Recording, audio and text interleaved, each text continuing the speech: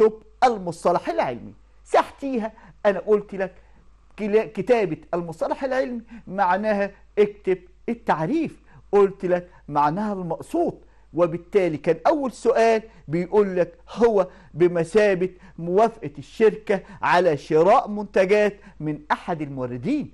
وكانت الإجابة قلت لكم أمر الشرع وقلت لكم خد بالك وأنت بتشتري راعي كذا حاجة. وانت بتشتري راعي الموقع الجغرافي للمورد راعي المركز المالي لازم يبقى قوي للمورد راعي ان المورد يبقى له شهرة في السوق راعي ان الراجل ده أسعاره تبقى مخفضة راعي ان الائتمان بتاعه يبقى مريح راعي دايما الجودة بتاعته تبقى عالية.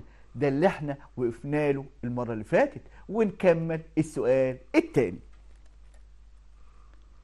بيقول هو المساومة بين طرفين للوصول إلى اتفاق.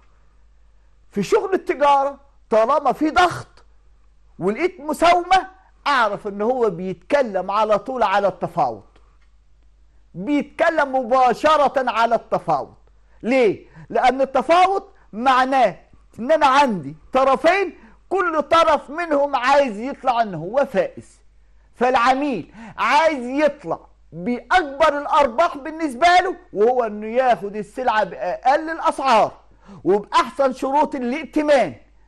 أما بالنسبة للبايع عايز يبيع السلعة ولو طال بدون خصم هيبيعها. عشان كده بديت أشرح لك شوية مهارات. على فكرة مش العبرة إن أنت مجرد إن أنت تجاوب السؤال. يبقى إحنا كده ما نجحناش. إحنا عايزين نزرع جواك المهارة. يبقى كل سؤال إحنا بناخده نكتسب منه مهارة. تفيدني في سوق العمل. كاتب لك التفاوض. يا ترى إيه هي القواعد بتاع التفاوض اللي لازم رجل البيع يراعيها؟ واحد قبل ما تعمل التفاوض لازم تبقى انت عندك خلفية. خلفية عن إيه؟ عن النقاط اللي انت هتتفاوض عليها. طب إيه هي النقاط اللي أنا هتفاوض عليها؟ واحد وده الأساسي وده الأهم وده اللي هو محور الارتكاز السعر والخصم. لأن أنت ماشي في طريق والعميل ماشي في طريق. أنت عايز تبيع بأعلى أعلى الأسعار وهو عايز بأقل أقل الأسعار. الخصم. أنت عايز ما تديش خصم تماما في حين إن العميل لو قدر ياخد السلعة عليها 50% خصم هياخد. يبقى اذا أول نقطة تبقى واخد بالك. قبل ما تقعد تتفاوض مع العميل تكتسبها. مع مرور الوقت هتتعلمها. تعرف إن العميل هيكلمك على السعر وعلى الخصم. أدي أول نقطة. النقطة الثانية شروط الائتمان والسداد. هسدد بعد قد إيه؟ برضه فيها اختلاف؟ أيوه فيها اختلاف. بينك وبين مين؟ بينك وبين العميل. إذا كان عليا عايز آخد تمن السلعة كلها نقدا في حين إن العميل عايز يسدد تمن البضاعة آجل ومش آجل وبس ده آجل كمان ومريح. يبقى إذا أنت تتمنى شيء والعميل يتمنى شيء. كده اتكلمنا على ثلاث حاجات لازم تبقى عارفهم قبل ما تقعد على ترابيزه التفاوض. ما ينفعش تتفاوض مع واحد وانت أصلا أصلا أصلا مش عارف هتتفاوض على إيه. يبقى واحد لازم تبقى انت عارف إن أنتوا هتتفاوضوا على السعر وانت عارف إن هو عايز ينزل وانت عايز تعلي. تاني حاجة هتتكلموا على الخصومات هتتكلموا على شروط السداد هتتكلموا على الجودة ونسبة التالف.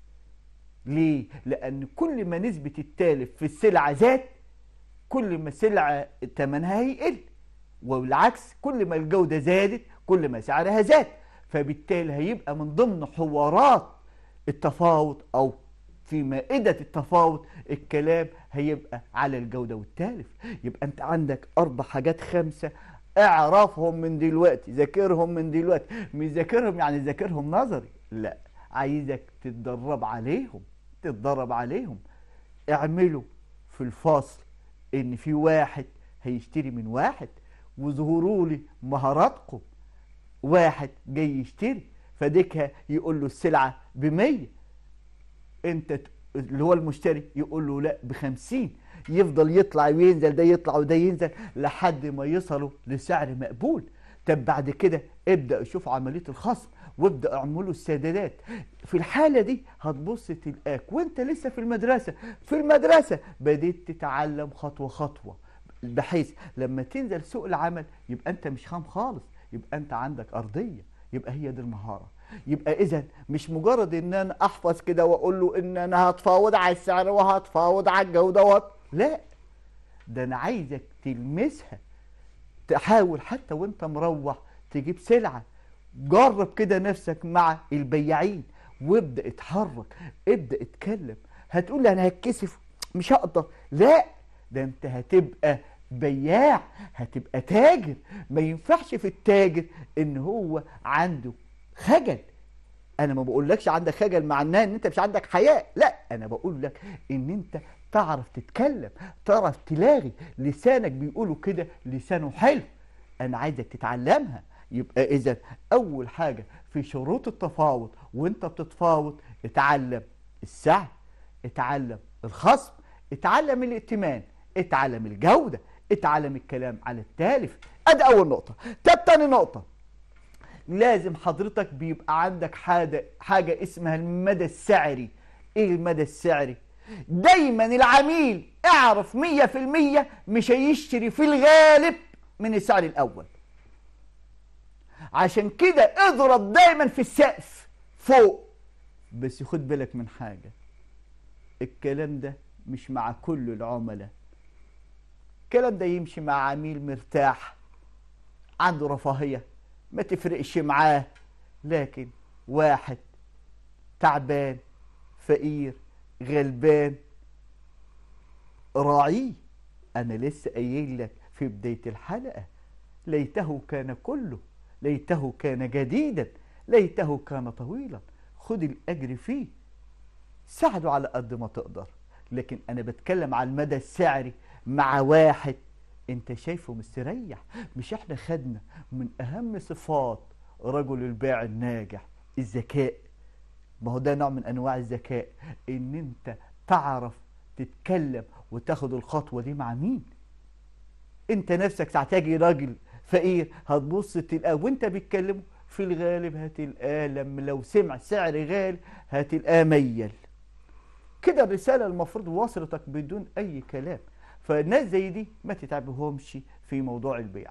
يبقى إذا السعر المثالي أو السعر اللي أنا عايزك تحط له المدى السعري للناس العاديين الناس المرتاحين تمام؟ وبالتالي خد بالك زي ما أنا قلت لك أهو في سعر السلعة من 90 ل 120 أنت عارف لحد 90 أنت كسبان بس ابدأ بعام 120 لأن ديك أول ما هيبدأ هيبدأ لك بكام؟ ب 70 أنت هتنزل وهو هيطلع أنت هتنزل وهو هيطلع لحد أنتوا ما تصلوا للآخر للسعر 90 اللي هو اللي أنت عايزه. شوف أنا كاتب لك إيه يا ريت تاخد بالك مني. واظهر للعميل إن أنت مهزوم. نزل دمعتين. والله والله أنا شوف أنا سايب لك البيعة دي ورغم إن يلا عشان الصباح بس اظهر لأن أنت لو أظهرت للعميل إنك منتصر نار هتاكل العميل ومش هيشتري. هيجي في آخر لحظة ويفركش الصفقة. لا. بين له إن أنت يعني جيت على نفسك وإن أنت يعني مش جايبه همها بس معلش يمكن عربون تعارف يمكن تجيب حد من أهلك يمكن بجر رجلك. يبقى إياك إن أنت تظهر إن أنت منتصر اظهر له إن أنت منهزم. إيه اللي بعد كده؟ من ضمن ثم إياك ثم إياك. إن أنت تتفاوض مع سلعة إذا بيتت سعرها هيزيد أنت كده كده سعر السلعة لوحدي كل يوم والتاني في الطالع. هتتفاوض على إيه؟ ده أنا بتفاوض على سلع يكون حال السوق في حالة ركود في حالة كساد. العملية نايمة. دي اللي أنا ابدا اتفاوض فيها. لكن أنت شايف إن حال السوق شغال وفي حالة رفاهية والناس عمالة هتشتري هتشتري يبقى أنت في الحالة دي ما تتفاوضش لأن سعر السلعة هيبقى في العالي. يبقى لحد دلوقتي خدنا كذا قاعدة.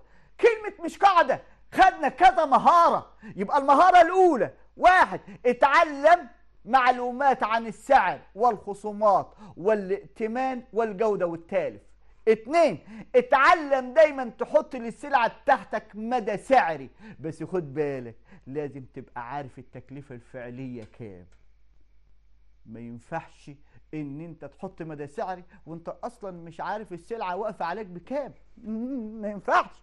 لأن من ضمن صفات رجل البيع الناجح الناجح الناجح يبقى فاهم السلعة اللي بيبيعها بنسبة مليون في المية مش مية في المية. مش هقول له فكها ويركبها ويجي يركبها ما يعرفش يركبها. أنا هسيبه وأمشي. ده أنا عايزك يبقى اسطى في المهنة بتاعتك. تالت حاجة بين له إن أنت مهزوم.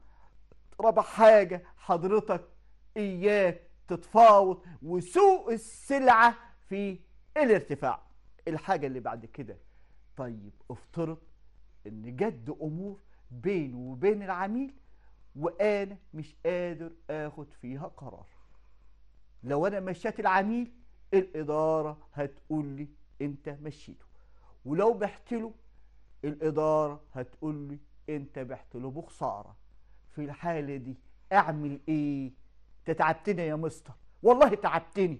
أبيع ولا ما بيعش أنت مش عارف أمشي معاك إزاي. سهلة سهلة سهلة. الحاجة اللي أنت تحتار فيها استأذن العميل دقيقة وجري على الإدارة العليا. خد منهم القرار. يبقى بحيث إن قال لك بيع يبقى هم اللي قالوا. قال لك لا يبقى هم اللي قالوا. ما تجيبش لنفسك غلطة. يبقى تعلم دايما إن أنت ما تجيبش عند نفسك أخطاء طالما لها طريق للحل. يبقى لا تتخذ قرارات سريعة. دايما دايما ترجع للإدارة العليا في حالة الأمور المستجدة اللي أنت حضرتك لسه مش عارفها. بعد كده لا تظهر الضعف حتى لا يستغلها العميل. إيه الكلام ده؟ دايما دايما العميل كأن معاه جهاز حساس. بيحس من الكلام معاك إن أنت عايز تبيع ولا لأ؟ وعايز تبيع بيع عادي ولا بيع غناوة ولا بيع اضطراري؟ لأن كل حالة من الحالات دي لها سعر بقول لك في بيع عالي وبيع غناوة وبيع اضطراري. دي غير دي غير دي. باعتراري إن السلعه بتاعتك من الأصناف سارحه التلف والنهار جه عليك فأنت مضطر غصب عنك هتبيع. فتبص تلاقي العميل يضغط عليك على قد ما يقدر. وفي السلعة اللي هو السوق العادي بيتت لبكره مفيش مشكلة. زي الملابس والحاجات دي كلها. وفي بيع غناوة. بيع غناوة إن أنت يعني اتباعت بعت ما اتباعتش كده كده هي راقده بس أنا مش عايزك لا في دي. ولا في دي ولا في دي. أنا عايزك ابننا اللي بيبيع السلعة بسعرها المربح العادي الربح العادي. ما تظهرش الضعف معاك في دي ولكن بيعها بالسعر العادي. ما تظهرش حكاية الغناوة مفيش حاجة اسمها غناوة مش غناوة. أنت حضرتك طالما فتحت أنت فتحت عشان تاكل عيش. يبقى مفيش حاجة إن أنت تتكبر على العملاء لأن بيحصل كتير كتير كتير جدا إن أنت تخش المحل وتلاقي إن رجل البيع بيعاملك بجفاء صعب. تحس إن يعني إن أنت لما تقوم من مكانه كأنك يعني قومته من وسط الصلاة اللي بيصليها. يا راجل يا راجل أنت فاتح عشان تاكل عيش. قوم بكل حاجة يطلبها العميل. انت فاتح عشان كده. انت كبير في السن مسن مريض مفيش مشكلة. معاك عذرك. جيب شاب صغير يقدر يلبي طلبات العملاء. مالكش حجه يبقى معنى كده ما تظهرش انطراخه ضعفك على الناس. النقطة اللي بعد كده انت بقى اللي تضغط مع مين؟ مع الناس اللي هم صدقوا ان لقيوا السلع عندك. بس أنا برضو لسه بقول لك اضغط ولكن دايما دايما شعرنا الرحمة. شعارنا دايما الرحمة. شعارنا دايما الرحمة. انت مش هتغير يا مستر؟ لا مش هغير. لأن ربنا يرحمنا ويرحمكم. ارحموا الناس. ربنا هيرحمنا. راعوا ظروف الناس. ربنا يراعي ظروفنا. ما هو المشكلة إن أنت بتمص دم واحد. ربنا هيجيب واحد يمص دمك. لا اهدى اتعلم صفات رجل البيع الناجح اللي بيخاف ربنا سبحانه وتعالى. سمح في البيع وسمح في الشرع آخر واحدة يا ترى العميل اللي جاي عندك ده طيوري ولا دايم؟ يعني إيه طيوري ويعني إيه دايم؟ أنت بتجيب كلام غريب قوي يا مستر. طيب معلش. طيوري اللي هو جاي لك مرة واحدة ومش هيجي. دائم اللي هو متكرر الشراء بيكرر الصفقات معاك. ده أكيد علاقته غير ده اللي مقرر معاك الشراء. حتى لو طمع في مرة إن أنت تنزل له سعر سلعة ما مفيش مشكلة. إن وصل حتى إن أنت تديها له تقريبا بالتكلفة اديها له. ما هو في أصناف تانية حضرتك كسبان فيها. هتبص تلقاه يجيلك مرة واثنين وثلاثة وهيشجع الناس إن هم يشتروا. اذا اتكلمنا إحنا على التفاوض. السؤال الثالث هي مستند يتم إرساله من البائع إلى المشتري بيحدد التزامات على المشتري بالدفع. طبعا طبعا طبعا هي الفاتورة.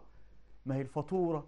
عبارة عن أمر كتابي بيكتبه المشتري إن عليه مبلغ معين واجب السداد والفاتورة لها مكونات لها اسم البايع واسم المشتري والمبلغ والأصناف والكميات وشروط التسليم سواء محل البايع ومحل المشتري. والفاتورة مهمة لكل من الأطراف. واحد مهم للمشتري ليه؟ لأنه هيسجلها عنده في دفاتره عشان يبقى عارف الفلوس بتاعته راحت فين. مهمة للمشتري هتخفض له بيها الضرايب مهمة للمشتري إن هو لو لقي فيها عيب هيرجعها لك. ومهمة لك أنت برضه. أنا يا بايع. أيوه. في إيه؟ إن أنت أحيانا ممكن تبيع له سلع سريعة التلف فمش من حقه إن هو يرجعها.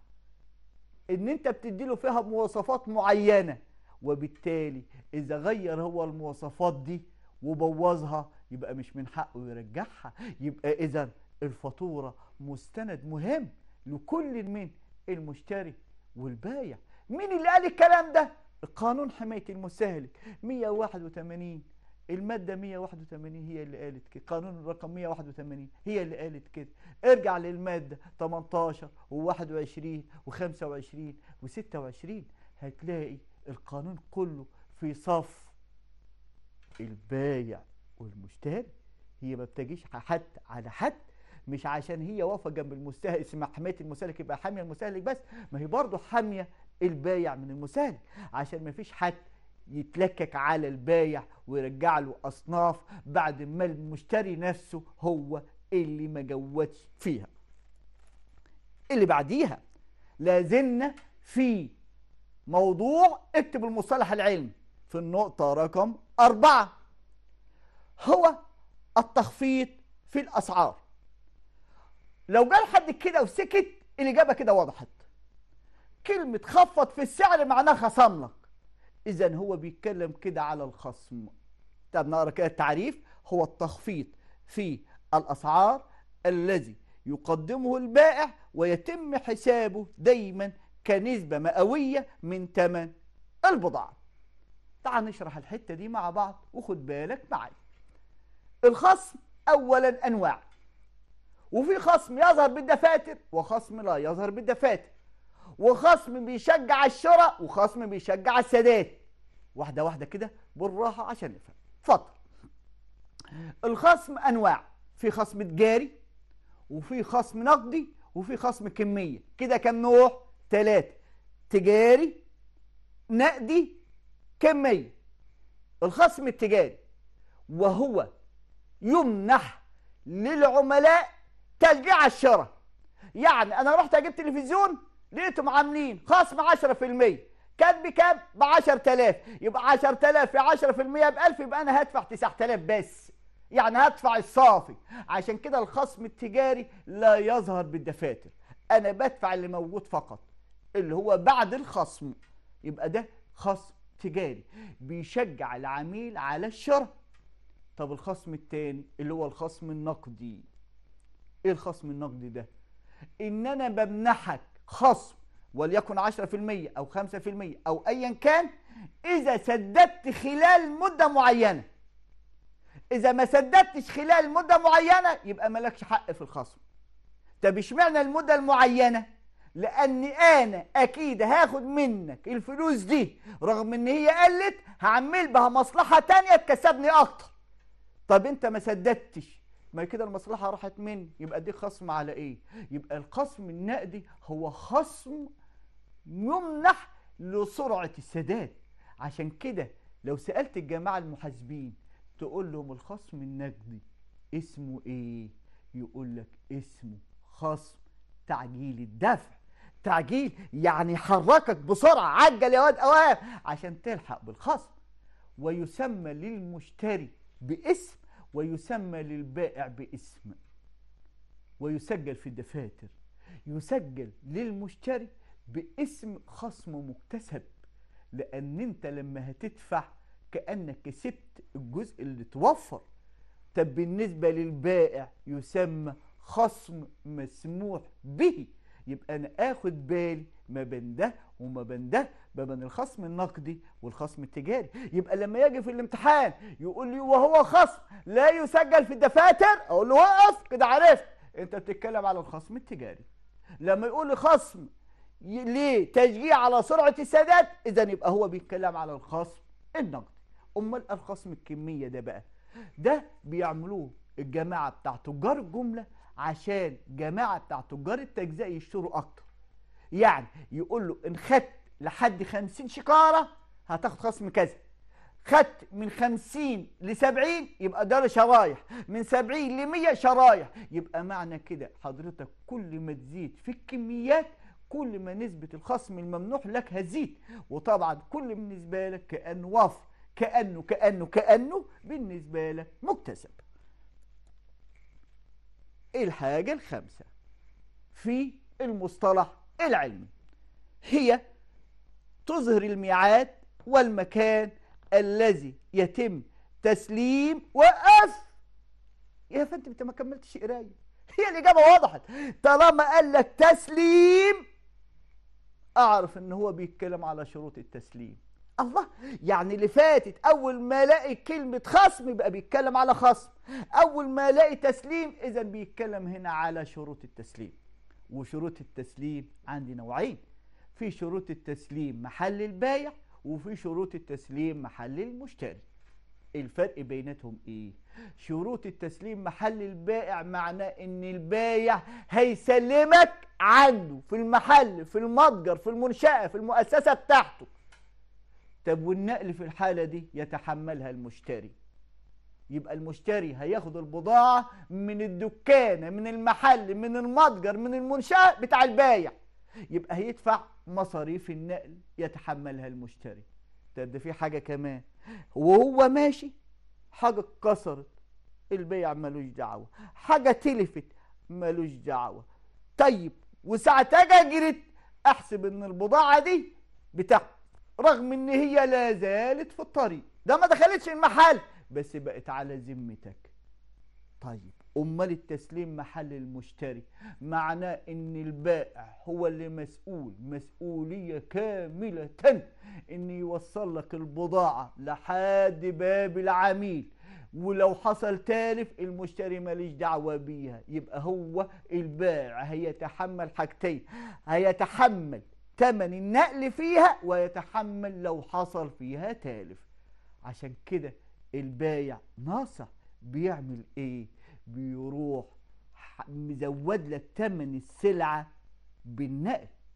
بس يقول لك شكليا إحنا هنوديها لك لحد البيت. أنت تقول الله ده كفاية إن هم هيجيبوها لي لحد البيت. يبقى إذا لما يقول لي في السؤال وهي تظهر الميعاد والمكان الذي يتم تسليم فيه البضاعة أعرف إن هو بيتكلم على شروط التسليم. كده إحنا خلصنا الجزء الثاني اللي هو بيتكلم على المصطلح العلمي. يبقى الجزء اللي خدناه في الحلقة اللي فاتت كان بيتكلم على توصيل ما بين المجموعة ألف وما يناسبها في المجموعة ب. السؤال الحلقة بتاع النهاردة كان هدفها الأساسي إن إحنا نتكلم على المصطلح العلمي. كان نفسي العملية تطول تطول عشان ناخد أفكار كتير وشرح كتير لكن بسرعة وقت الحلقة انتهت. أشكركم. كل سنة وأنتم طيبين. كان معاكم من التلفزيون المصري شعبان عبد التواب والسلام عليكم ورحمة الله وبركاته.